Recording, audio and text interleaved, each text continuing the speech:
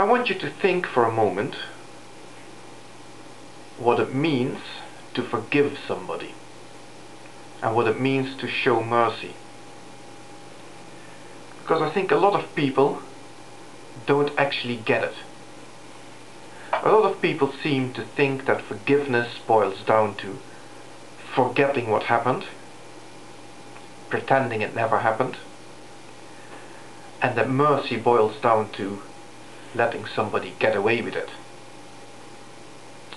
In so many terms. And that's wrong, that's not correct. This is how I see it. In the case of forgiveness, forgiveness doesn't mean that you will pretend that the responsibility no longer lies with the person that you're forgiving, but it means that you're willing to let it lie. It is still there. The wrong that's been done is still there. That cannot be changed. It will not be forgotten either. But it will not be brought up again.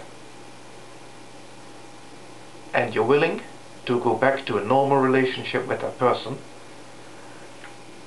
despite what they're responsible for, despite what they've done. That is what forgiveness is. Mercy, likewise, means that out of your own volition you choose not to avail of the option to seek retribution. It doesn't mean you're going to let somebody get away with it. Doesn't mean that you're going to stop holding them responsible for the act of evil or whatever that was committed.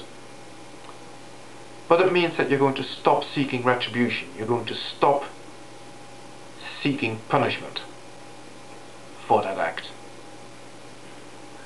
And this becomes very important now in what I've been seeing on YouTube lately.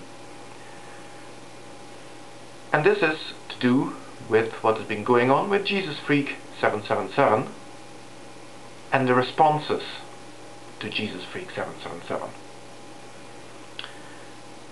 Now the first response that I noticed was the infamous response made by Inmendham by Gary.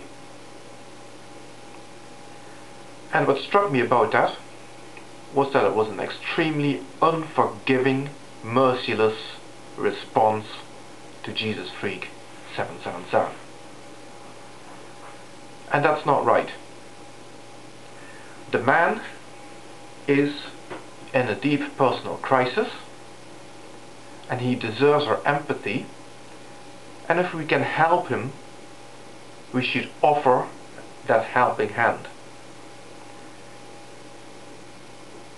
Now this is where the bits where the terms of forgiveness and mercy come in. You see, I should, I think that we should be forgiving in our interaction with Jesus Freak 777.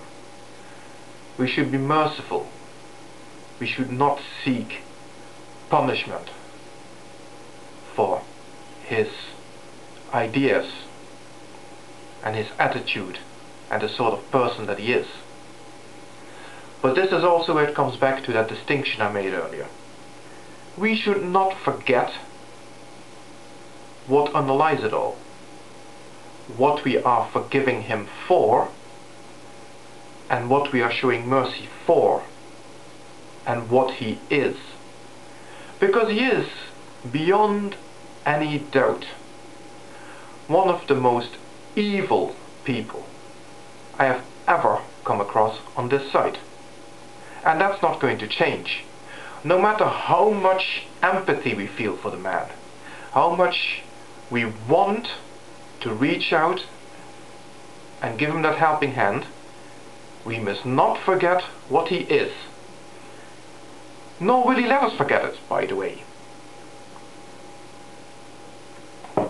You only need to look at his latest video or at least the latest video I saw of him, where after a rambling rant of about 9 minutes, where he seems to be seeing the light and giving out about his fellow Christians and he, he even titled it that he uh, had enough of, of those Christians.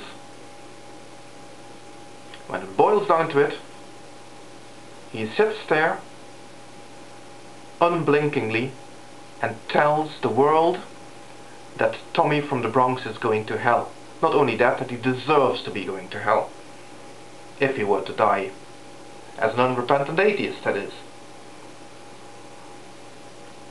Now that sort of a belief is vicious.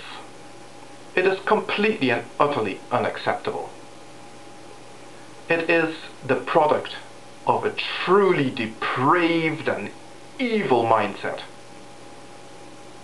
I'm not going to make any bones about this.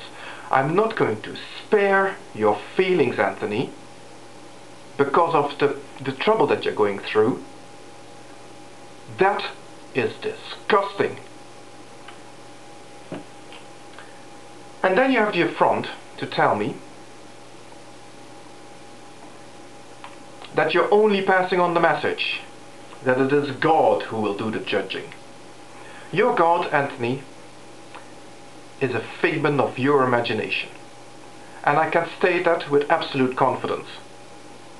Beyond any reasonable doubt, your God does not exist. And where does that leave you? That leaves your God inside your head. That's where he resides. And who, Anthony, is responsible for what happens in your head? You can give me two answers to that. There are two possible answers to that, Anthony. You can either take responsibility for what happens in your head, in which case you have to take responsibility for every vile, disgusting statement that you've ever made on this channel. Or you can reject the responsibility, in which case you're basically telling us that you're mentally ill. What is it going to be, Anthony? What's the choice? I'm very sorry for what's happening for, to you, Anthony. Truly I am. If there's anything I can do to make things easier for you, I'll be glad to help. But do not think for a moment that I'm going to forget what an evil little scumbag you are. Okay?